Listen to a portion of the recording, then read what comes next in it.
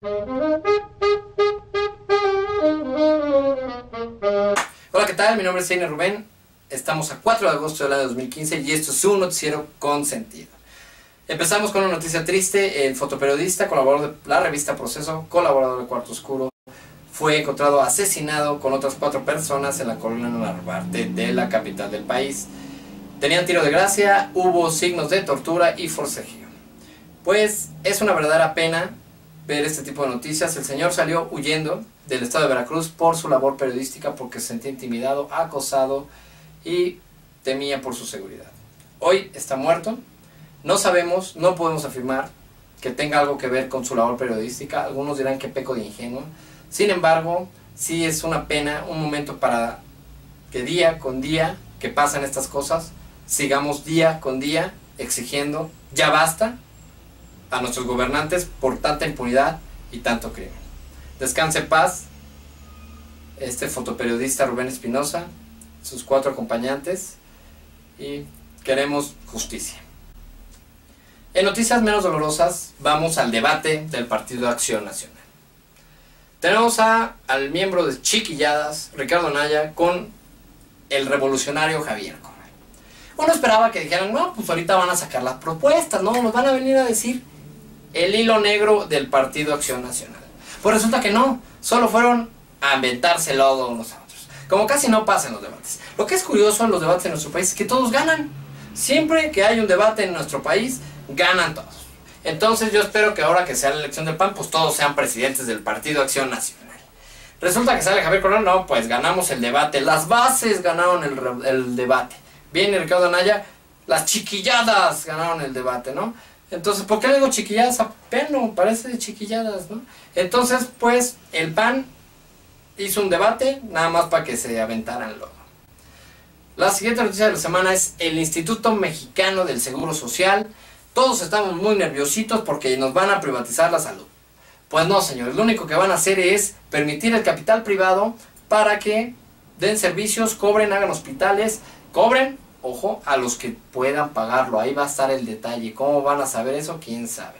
Ese es el objetivo. Y dar un mejor servicio a la gente de escasos recursos, a los que no tengan acceso a, hacer ese tipo de pagos. Sin embargo, pues seguramente alguna persona acá creativa del Instituto Mexicano del Seguro Social, ¿por qué no movemos la ley, permitimos el capital privado, nos quitamos alguna carguita de lana, ya ves que nos falta, y mejoramos el servicio para los demás?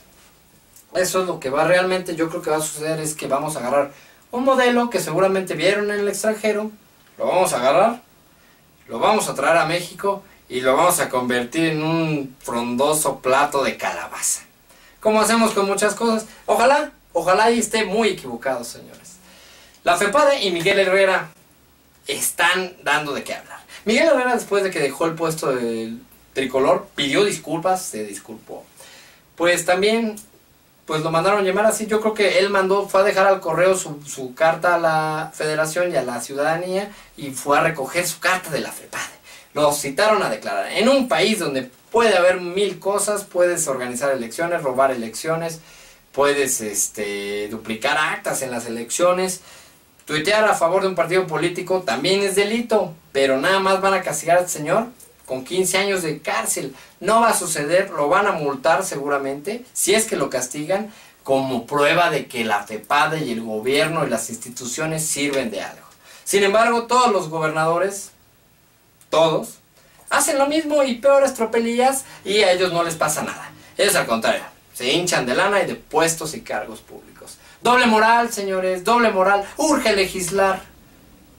El señor Eduardo Nieves, Edward Snowden está coqueteando con, con regresar a Washington. Dice, como que, como que el aire aquí está muy frío, vámonos a Washington. Pues el señor Obama, muy rencorosamente, dice, no, no, no. Snowden no regresa, tiene las puertas cerradas y si regresa tiene que regresar al bote por traicionar al país en el que nació. Muchos de ustedes estarán a favor o en contra de lo que les estoy diciendo. Ustedes tendrán mejor la opinión, la mejor opinión. Sin embargo, el señor Está muy mal lo que hizo Estados Unidos, pero está muy mal también lo que hizo el señor de ir a, a los cuatro vientos. La información de seguridad nacional, pues no, no está chido, ¿no? En noticias deportivas, el Tri quiere coquetea. coquetea con el Tuca Ferretti. Y el Tuca Ferretti coquetea con seguirnos aburriendo en sus partidos. Me chuté un partido la semana pasada que era, según una final de un torneo internacional, la Copa Libertadores. 0-0. Y el coraje que nos dejó haber visto ese partido porque estuvo aburridísimo. No obstante, en la federación han de pensar, oye, ¿cómo se llama ese bigotón? Decio, es tu jefe. No, no, no, no Decio, güey, el, del partido. Ah, el Tuca, el Tuca Ferretti. Ah, oye, si no lo traemos de técnico, no mames, juega bien feo, pero está en la final de la Libertadores.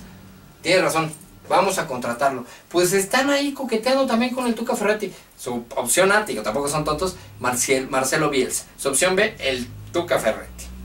Alguien que nos va a hacer jugar más feo de lo que ya jugamos.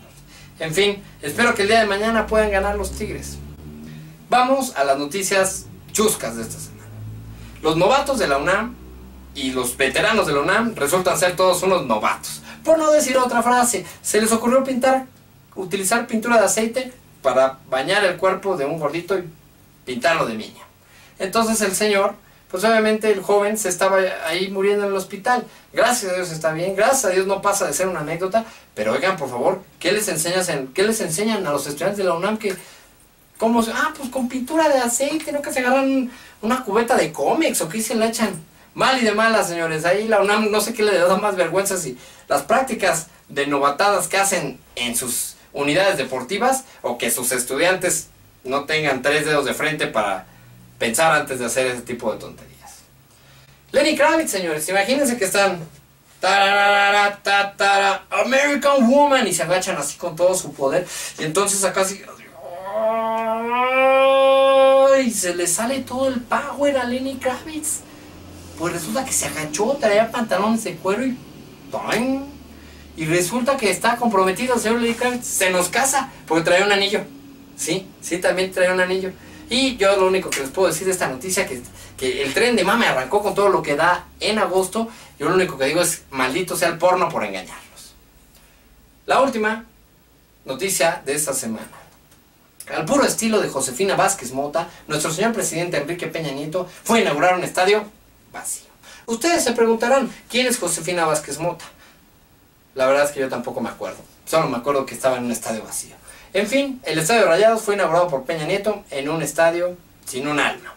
No sé, a lo mejor se acordó de un presidente por ahí del año 68 que fue abucheado en, una, en un estadio azteca repleto. Entonces, a lo mejor todavía tienen ahí fantasmas los periodistas. Eso fue las noticias por hoy. Vamos a las frases de esta semana, que yo sé que ustedes se levantan desde el miércoles para contar los días de las siguientes, que faltan para el siguiente noticiero y las frases de la semana. Si me ofrecen de barrendero, igual y lo acepto. El Tuca Ferretti. Todavía que juega de la fregada, él se pone gracioso, porque le da gracia, le echa ganas, ¿no?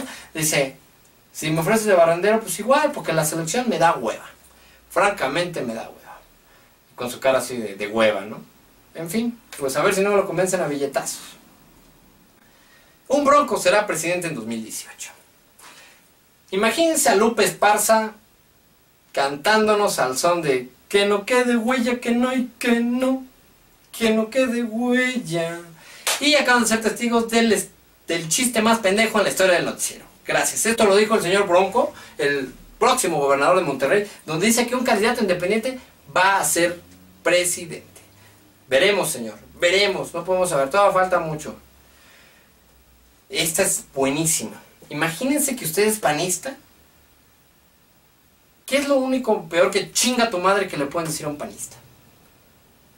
Tú te pareces a AMLO. Y el señor Anaya, sin tapujos, ¿eh? O sea, sí llegó a aventar mierda. O sea, que te digan que te pareces a AMLO siendo panista, sí, sí, sí, calienta, ¿no? O sea, y, y se lo está diciendo nada más que al revolucionario de las bases. Entonces, no parecía una buena idea, pero la soltó la soltó y le dijo, tú te pareces a AMLO. Imagínense el coraje que le debió haber dado al otro en la madre, me compararon con AMLO, yo no venía, yo no venía preparado para este tipo de ataques, señores. Eso fue el debate del PAN, eso fue lo más rescatable. La última frase de la semana y con eso cerramos el noticiero. Hay países a los que les ha ido peor. Enrique Peña Nieto. No, pues ya. Ya con eso, pues sí, creo que en Ruanda están peor que aquí. Pues estamos bien, ¿no? O sea, pues está chido, ¿no? A lo mejor en Afganistán, en Afganistán están peor que aquí, no manches, hay que, hay que decirles, porque estos mexicanos son, son muy juiciosos y nos juzgan mucho como gobierno. Dígales, señor presidente, dígales que no, que hay países peores que nosotros. ¿Quién asesora al presidente? ¿Quién sabe?